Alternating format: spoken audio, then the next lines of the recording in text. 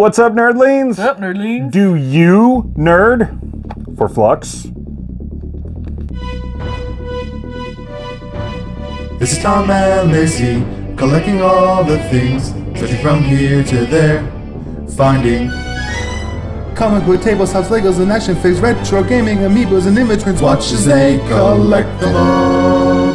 Tom Laci collecting right now.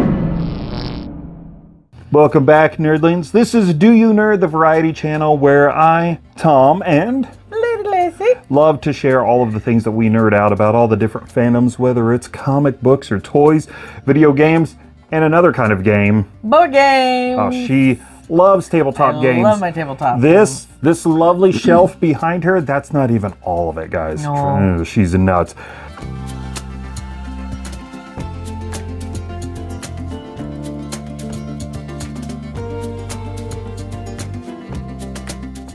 One of the series of games that we love are the Fluxx I love the. Fluxx game. Now, in short, wh- what is Fluxx? Fluxx is a game that is ever changing. The rules constantly change. How you play constantly changes.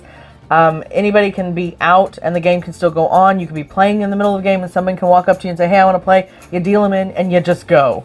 And they're also mostly very themed out. So there's probably a Fluxx for everybody's fandom. Uh, That's true. Now, before we look at some of that, now, real quick, something that I really like about the Fluxx games is you can play with just two Just two people, people, right? yep.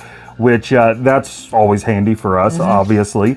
Uh, but then, like, bringing in a group of people, They're so small, so you can put them in your bag, your purse, super easy to travel with. As you see here, you have got some like licensed ones, but then you've also got just some fun uh, variety ones, like even the holiday one. Mm-hmm. So things that aren't exactly tied to a specific franchise, but even those.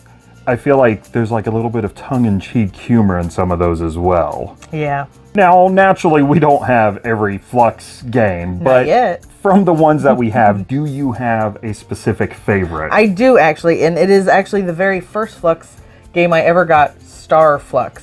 I first saw this and actually even found out about the Fluxx games from um, Wil Wheaton and his tabletop game series that he had on, on YouTube. And they played this with you know a bunch of celebrities like they do. And I was like, that looks like so much fun. This was actually before before they had any Star Trek or Doctor Who.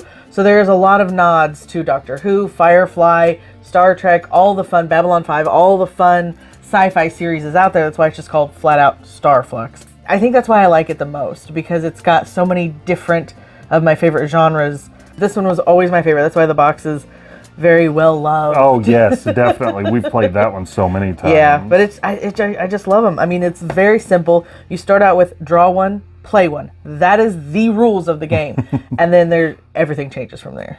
the Marvel one and the Jumanji Fluxx, they are a little larger. Is there really anything different to It was that? just special edition ones, and each one of these come with a coin, which you know you can see the coin slot up- up top. Um, I think that's about it. Was just that they were a special edition that you could get a special coin with. okay, and despite the fact that these are card games, you also have Fluxx, the board game. Yes. There's not a whole lot that's different about the board game. Uh, basically, you know, the Fluxx games is all about change, as you said, changing the rules uh, and the goals, of course, which is how you win.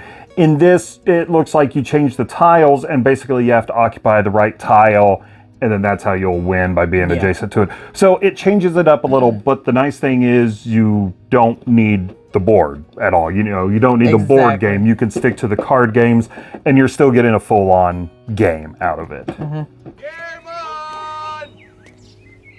Game on!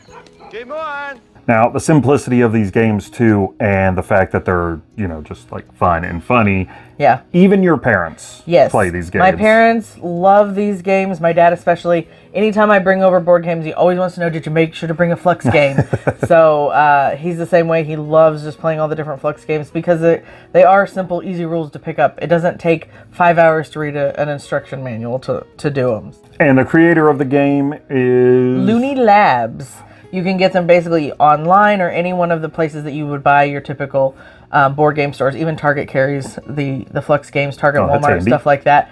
So you can get them anywhere. They are super easy and accessible. And Looney Labs is always coming up with new and fun uh, games and different ways of playing Fluxx. So All right, well, there you go, Nerdlings. There's a huge variety of Fluxx games. Basically, whatever your fandom, you're probably going to find one tied to it.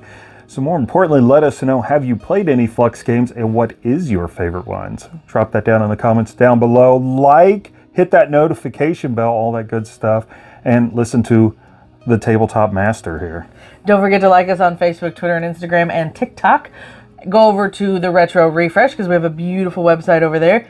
And nerdlings, if we like it, Apparently, we nerd it for stacks of Fluxx. I'm just going to shuffle all the cards together and see what happens. let's do. It. Bye, nerdlings. Mic check, except she's yawning. Mic check, Laci. Mic check. So much flux.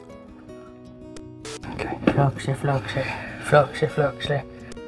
And check us out. Um, threw myself off because I didn't say that in the right order. You can change the rules on your own according to the cards and nothing set in stone. Sometimes you'll think you're winning, but then we'll change the goal. Is that a metaphor for life?